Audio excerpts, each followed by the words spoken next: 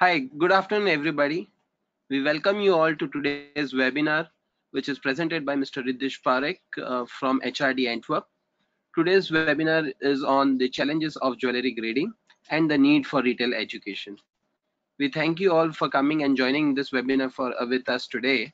In case if you have any questions during the session, you can post your questions in the questions panel and we would take up those questions post the webinar is done. Over to you, sir. Thank you, Swapnil, for the introduction. Good afternoon, everyone. And uh, I really thank you for the time that you're showing uh, towards the subject. The subject is really important. What we are going to discuss today and uh, the information that I'll share with you is on challenges of jewelry grading and the need for retail education. There are many subjects which are being discussed now and then, you know, with regards to diamonds, uh, jewelry, gemstones, and everything but the most crucial thing that is being discussed right now is threat of lab grown, threat of mixing, threat of uh, undisclosure of you know stones uh, and uh, uh lab grown uh, diamonds which are being mixed in natural parcels. So this is one aspect, and the other is the retail education part, wherein everyone wants to increase their business. But what is important is that there is a lot of competition. And unless or until we identify the consumer his requirements and we are ready ready to share our knowledge with the end consumer we will never be able to increase this business. So what we do is at HRD Antwerp we educate the retailers we educate their sales staff as to how to increase this business of theirs. And uh, be uh, be effective in the competitive environment. So to start with, I would like to introduce HRD Antwerp. HRD Antwerp is basically a hundred, it's a hundred percent subsidiary of the Antwerp World Diamond Council. We have multiple locations globally, which are uh, strategically located. We are our headquarters being in Antwerp. We have offices in Dubai, Hong Kong, Istanbul, Madrid, Mumbai, Ramat Gan, Shanghai, and Surat. Mumbai itself, we have four locations, primarily one in SEEPZ, which caters to the jewelry segment for export businesses. We have recently opened up an office in the Bharat Diamond Bourse. It's the first office of a, an international laboratory. We have our Surat office, which caters to the equipment division, as well as, you know, it's a uh, window for pickup and drops.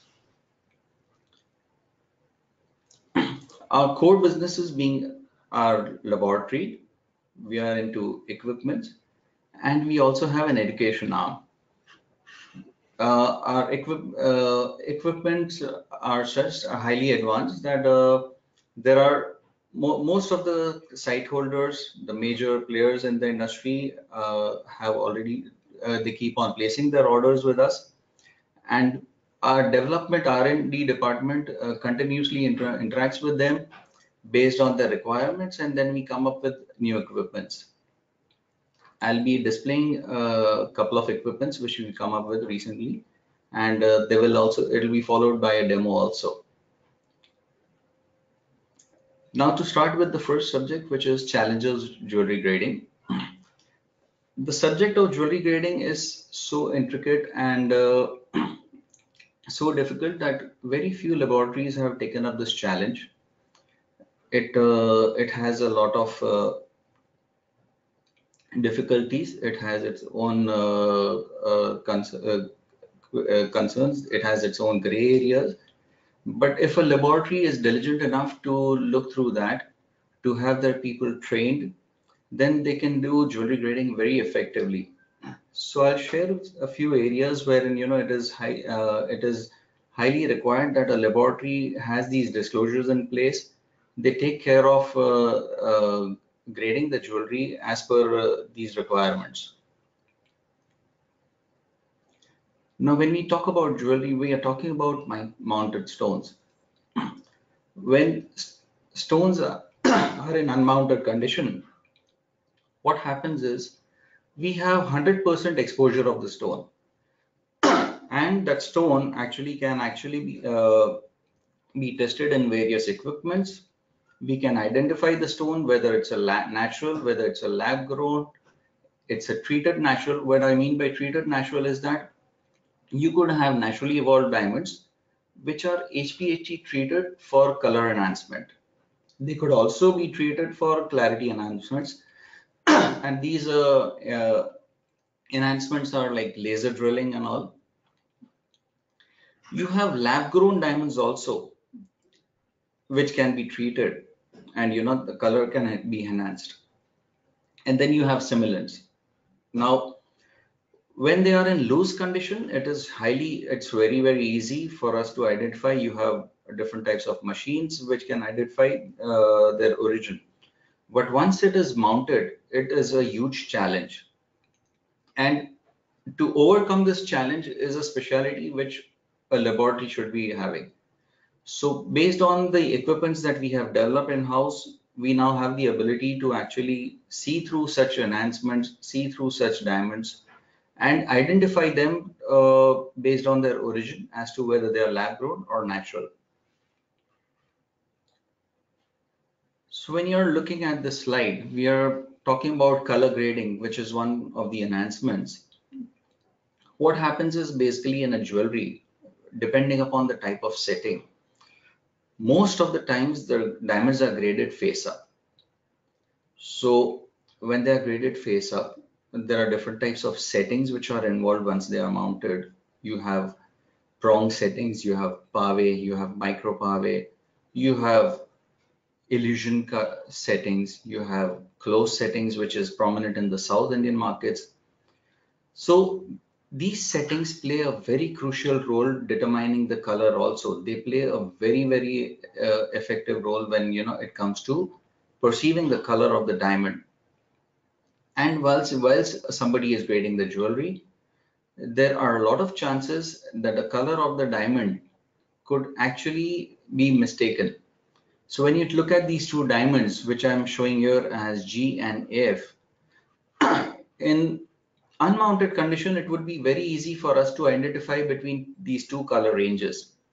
But once they come in as mounted, as you're seeing out here, what you would feel is both of them are of the same color and there is a probability that the jewelry might uh, be graded in the same uh, and both the gemstones would be graded with the same color once once they are mounted so when i say that you know different types of settings play a very crucial role it is also metal because if you have these diamonds mounted on yellow metal with a, a 22 karat plate uh, gillet these diamonds would seem more better and more brighter.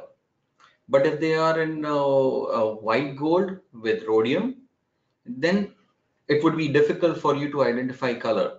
That's for a layperson. But when it comes to a laboratory, our graders are trained to the effect to to such an extent that you know they uh, see through these effects and they grade the grade the stones as per their color range.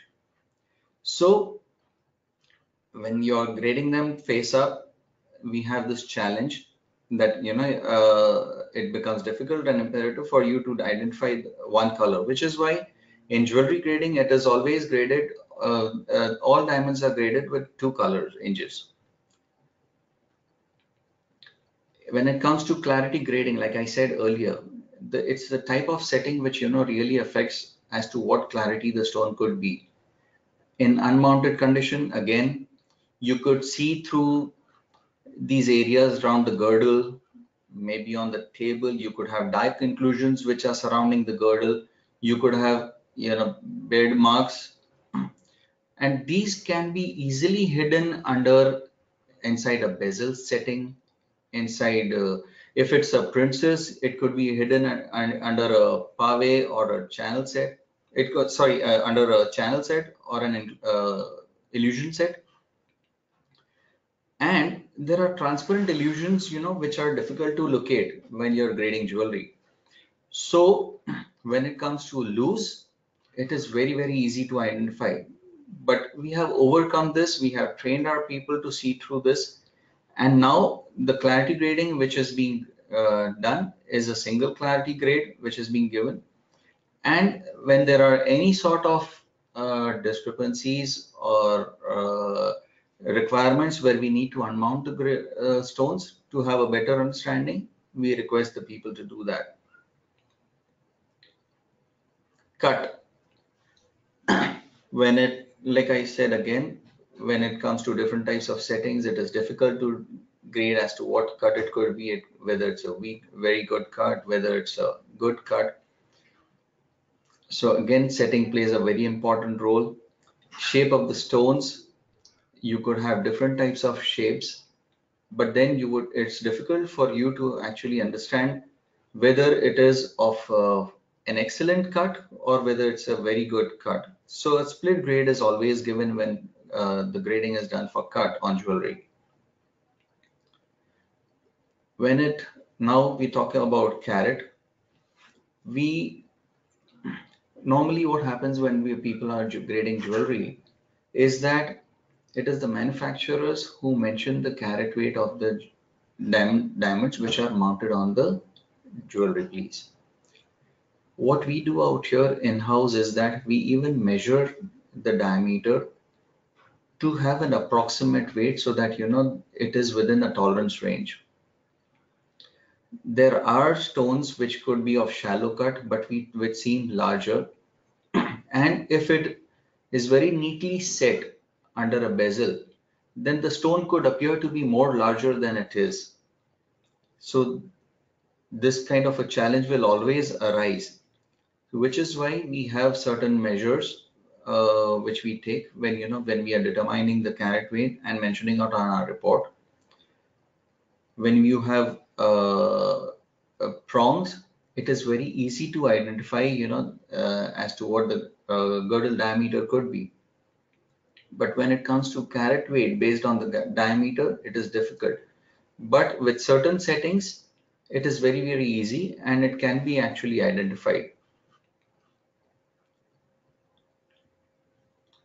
Now, retail educational is something which which is really, really important for any jeweler because what happens is when whenever a consumer walks in walks in we have noticed by personal experience is that every every salesperson is in a race to attend to that consumer and not you know addressing his requirements before addressing his requirements so first of all it is most important that you know you make the con consumer feel comfortable you understand what their requirements are you understand what the occasion is and then accordingly attend to them what we do at HRD is we have customized courses and these courses are customized based on the demography. So before the staff even knows about it, we have our people, you know, who go down to that showroom as mystery customers. They walk in as a customer without the salespeople knowing about them. They put in their requirements, they take gather feedback they understand how the person is attending to them and then they once after the analysis is done we actually go down to that jeweler or showroom owner and prescribe what all changes are required to enhance their sales and what what we basically do is we look at the right people we identify what all areas they need corrections in and we empower them with the right information. This information could be with regards to sales techniques. It could be with regards to uh, diamonds. It could be regards to uh, settings. It could be either technical or it could be uh, in terms of salesmanship. But most importantly is that if they, the salesperson is aware about the subject that he is speaking on, it becomes very, very easy for to for him to convince a consumer to buy what they have come and are looking for so and then uh, every time a consumer comes in there are a lot of queries which they will pose in as to what kind of diamonds are there what kind of stones have been mounted on the jewelry what is what are the four c's or how is it that a diamond is valued differently in a different showroom so resolving them to uh, uh, ensure that the consumer confidence is at its peak, uh, a salesperson has to be empowered with such knowledge. And once empowered, it will surely increase the sale. And this is what we have seen happening effectively at all the showrooms wherein you know our trainers have uh, going have been going on there and doing retail these training sessions. HRD Antwerp, while being in um, doing a lot of services globally, there are multiple services which are being offered in India. What I, in the way, I, uh, things that I said in uh, my introduction, the first being our laboratory services. What we do is we do uh, grading of our diamonds out here. It's starting from eight uh, star and melee minus twos to all sizes we have uh, we are very shortly going to increase our grading to up to 9.99 carat we have an ongoing festival where we are doing a 5 carat plus uh, grading out here you can submit all your goods in number of size and there's no size limit to it. And what you see out out here on display are the different types of reports which we issue once the diamond is graded. You can even have it sealed uh, packed in a tamper proof sealing. So it it works as a very good investment and for a diamond which you want to use in the future. And it also safeguards the uh, your diamond from any sort of damages happening otherwise this sealing you can use when you buy it from a retail showroom owner and you can take the sealing to a jeweler and have the stone mounted there and then in front of you this is jewelry is something which we have now begun. We were always doing jewelry, but it was mainly for end consumers. Now we have started to do it on a commercial level in India. Like we said that we have started up an office in uh, SEEPZ, which caters to the export market. Shortly, we will be starting for the domestic market also. This is the type of report. if you look out here, we have a differentiation between, you know, the center stone, which is a solitaire, and the essence, which are of very small sizes. we are mentioning different grades for both of these uh, different types of stones. The solitaire is mentioned out here, plus the 74 diamonds which are mentioned out here are the essence. We have a description of the jewelry piece and wherein we mention the gold content, which is in caratage. It could be 24, 22, 18, so on we mentioned the color of the metal, we mentioned the type of diamonds, the cut, and all the four C's basically. we have a report also which can we, we can customize as per the jeweler's requirements. So for enhancement of uh, uh, the showroom staff, we have the education services, we have students coming in, we have people sending their children for education out here. It helps them in taking up a job elsewhere or to set up their own business. We have five full days or 10 half days of a diamond practical workshop wherein there's a lot of emphasis in uh, training them uh, practically. And the stones which have been chosen to do our courses are highly intricate, different types, different origins, so we try to ensure that they maximize their skills when they are taking up a course here. We have retail sales training. These are two to four full days or uh, two or four half days. Uh, in this, we have uh, we have we enhance their skills in salesmanship and identify identification of customers, and we also have market related workshops wherein you know we could improve where people feel that they need to improve their staff needs to improvise on their color grades maybe cut grades. If there people there are people who are uh, who are falling short of their grading and who feel that uh, they need to align with the laboratory this can easily happen once uh, they take up these kind of workshops. So their hit ratio on getting the right grades is uh, highly possible. we have custom made programs. What, what we have seen is that in the last one year since the time we've started, we have had a lot of uh, retail showroom owners, chain store owners coming to us saying that they needed, they felt that there, there was a need for their staff to be trained with the the day-to-day changes which are happening in the current market scenario they really understand the need that you know their people need to be aware about the knowledge of different types of stones different types of settings the kind of advancements that have happened with regards to uh, development of labor uh, lab grown diamonds.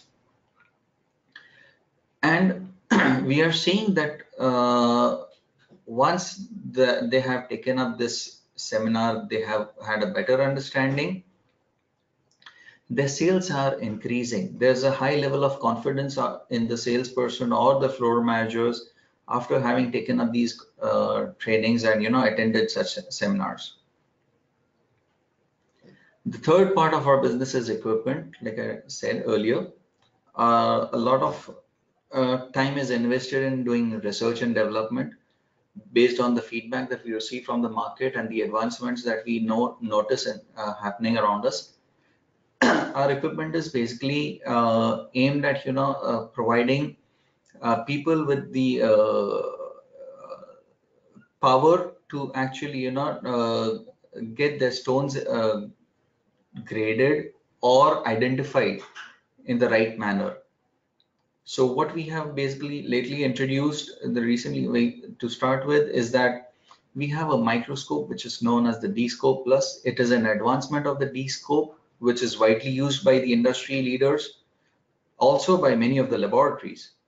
And uh, the functionality of the D-Scope Plus, the advancements that we have made is that it has three light sources, one being the yellow light, one being the ultraviolet uh, light, and one being the UV light. So it you can switch over from one light source to the other uh, and not invest in three different microscopes for the sake. We have the M screen plus uh, uh, since a lot of there has been always a, the the major cost of uh, constraint uh, with in today's the business scenario is the mixing of diamonds which is happening in from the smallest of sizes to the largest of sizes. So for star and melee goods up to 20 pointers uh, we have the m screen plus which has lately uh, which has been introduced in the market it is a highly effective product in which we grade, uh, which we, wherein we are screening basically uh, half pointers to 20 pointers, uh, D to J colors. These are round diamonds that we screen.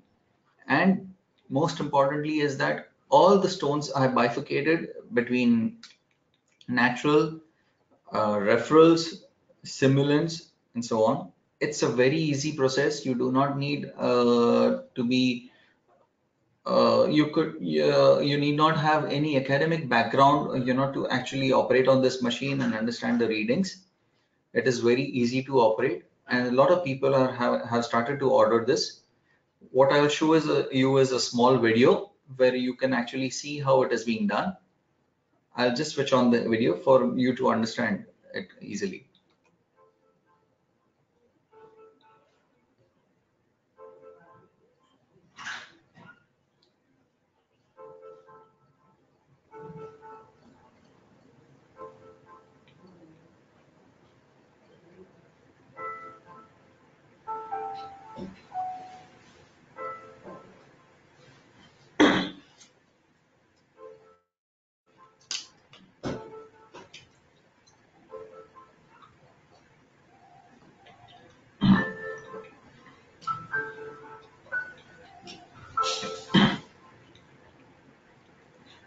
What you're seeing here is the diamond flowing inside after you have put in. All the diamonds are turned upside down before the process begins.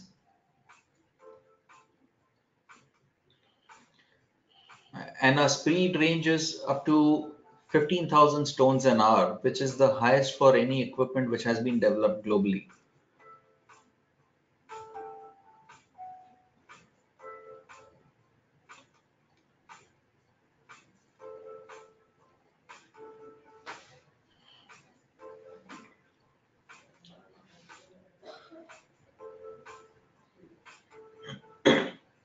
you're seeing these four trays in which diamonds have actually been put in.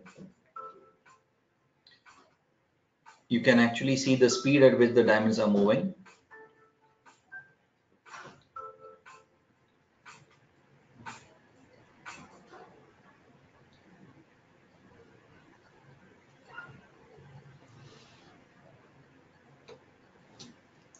Okay, so that was for star and melee goods.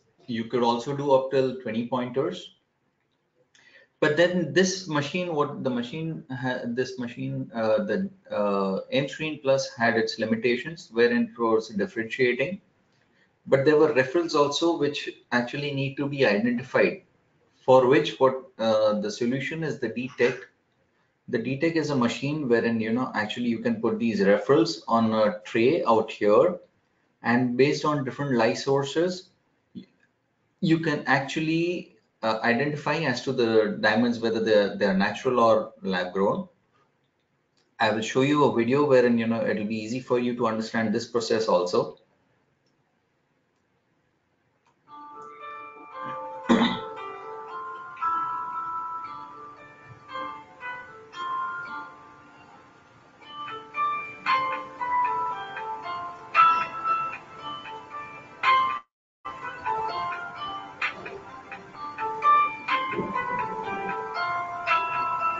It is very easy. You put your diamonds or your jewelry in this tray.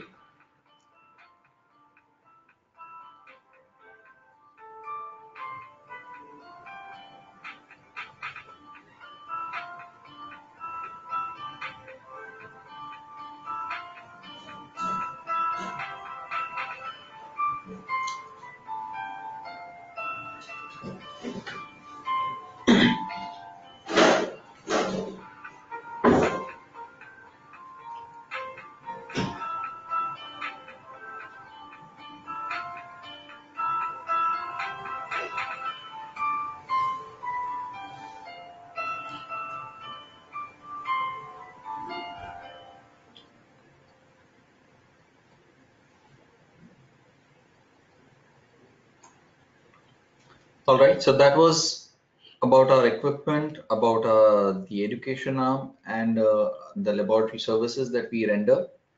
Feel free to come contact us at the above on the on-screen details, and I'm open to any questions if you want to send some.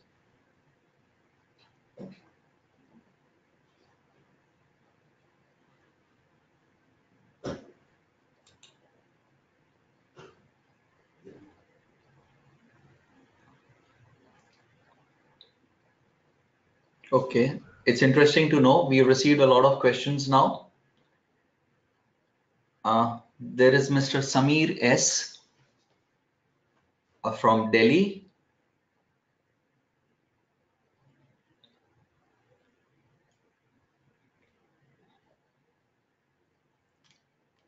Okay, to answer your question, Mr. Samir, uh, Mr. Samir has a question. He wants to actually uh, have his uh, people trained so that you know there are a lot of queries that the consumers po uh, put across, and uh, uh, it's difficult for them his uh, staff to answer all those queries. Now, which is why we told I have put my screen details also. I will again share my details with you we can actually come over to Delhi and train your staff, Mr. Samir. Uh, it'll be an investment of time. Uh, your people would be trained based on uh, on their requirements. We have different training modules wherein we train the managers at a different level, the showroom staff at a different level. And uh, you could always uh, uh, call on us at the mentioned uh, numbers or the email ID, which I'll share with you. And then we can take up uh, this issue.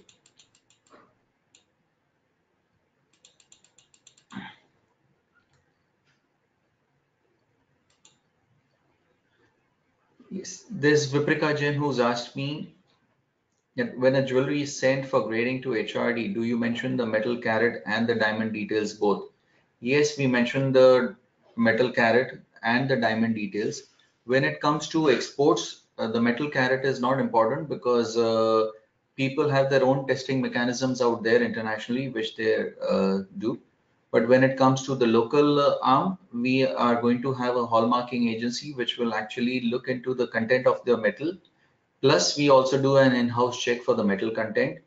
We are planning on having the hallmark logo, which will be uh, on the jewelry as well as uh, the report.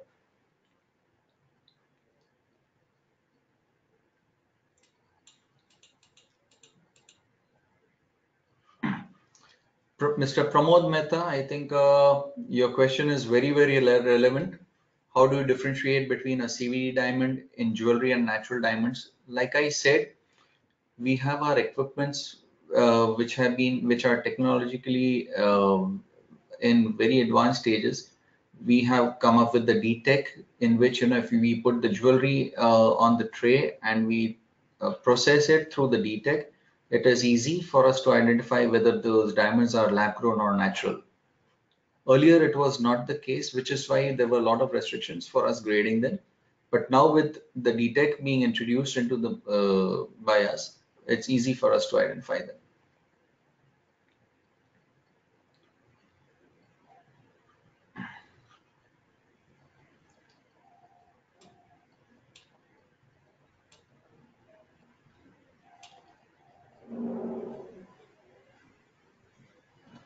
Uh, Miss Sarla Shah. Yes, you can always look up at our site for courses. We provide corporate trainings also. If you would uh, uh, send us an email with regards to your requirements and as to what kind of training that you require, I mean, require your locations, multiple if any, we will surely uh, put you up and uh, have your people trained for that reason, for that purpose. Uh, Ms. Viprika Jain again, what are the ch challenges faced with recent distribution of lab-grown diamonds? Well, whatever's happened is uh, something which we cannot take charge of or we cannot control. Whatever what we emphasize basically to all our clients and the customers and what is being discussed is that you know there should be full disclosure about the origin of the diamonds. But uh, it has been difficult. It has been it has been really challenging because there are new advancements which are happening. But simultaneously you know there's a lot of r&d happening at our end also wherein we are coming up with equipments to grade such diamonds. And uh, what's best to do is to have one or the other equipment if you can afford if you are in that in the business else you can always take a, a avail of our services which come at a very nominal cost compared to the diamond worth. And you can be assured that you know the jewelry that you own or uh, you deal in or the diamonds that you own or deal in are of natural origin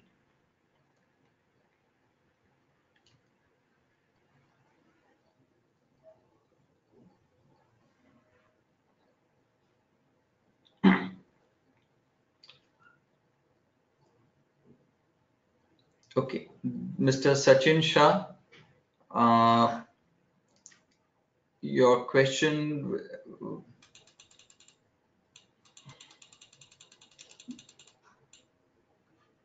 Yes, with the recent uh, definition bills passed by FTC, uh, this is something which has actually happened around four years back. There are many organizations like CIBJO and everyone who have agreed to the fact that you know the word diamond itself with or without a prefix or a suffix is uh, sufficient enough to uh, for a person to understand that what we when we mention the word diamond it means naturally evolved and not lab grown. Yes it will take a lot of time for people to actually start implementing it because when uh, until you know that was introduced or that was uh, defined people have invested in a lot of consumables with the word natural mentioned to emphasize that the stone which was being graded or the diamonds that were being graded were of natural origin. So once that is done, I don't think it is a very difficult uh, challenge to you know take up and adapt the new uh, terminology, wherein the word diamond itself means uh, naturally evolved. yes, once the uh, adaptation takes place, uh, diamond itself would denote that it is of natural origin.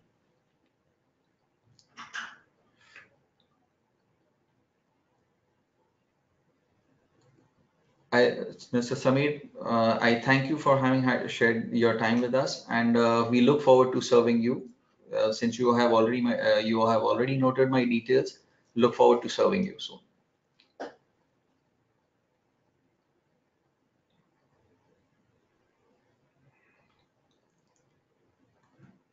Mr. Pramod Mehta has a question wherein he's asking whether, you know, uh, sapphire or emeralds which are being used, uh, whether we uh, identify these stones. We don't, uh, we only identify diamonds in mounted condition. We are not, in, uh, we have not yet started to identify gemstones in mounted conditions yet. So, which is why we just uh, mentioned the details of the diamonds on the reports.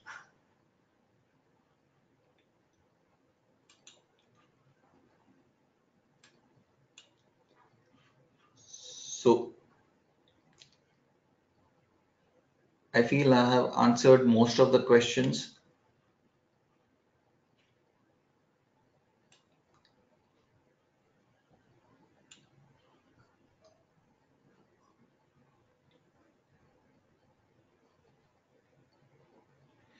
Yes, Mr. Samir also had a question again that many times customers come and walking into the showroom uh, and wanting them wanting them to check their diamonds without the diamonds being affected yes of course you can do that if these are small diamonds we have you can uh, have them uh, a DTEC in place or you could actually send them to our uh, office in Mumbai we would surely render you the service and you would have a report which says that you know the jewelry which you have submitted to us has all naturally uh, grown, uh, naturally evolved diamonds mounted on them.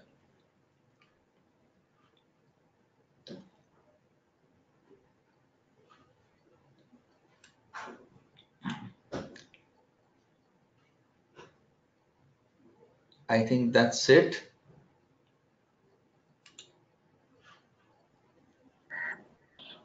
Yes, I think those are the questions that we had for today. In case if someone still has any questions, uh, feel free to just post into the questions panel and we would uh, surely take it up. Exactly. I have put my contact details again on the screen for everyone, uh, everyone's benefit. Feel free to note them down and uh, get in touch with us for any uh, requirements with regards to laboratory services, education or equipment. Fine, that's it then. This is Riddhish Parekh signing off now. Thank you. Thank you all for attending this webinar. Thank you all for attending this session. Uh, on behalf of the GemAtlas team, I would like to thank Mr. Parekh and HRD for having this uh, informative webinar for us today. With this, we are signing off the webinar. I'm happy to have you all here. Thank you.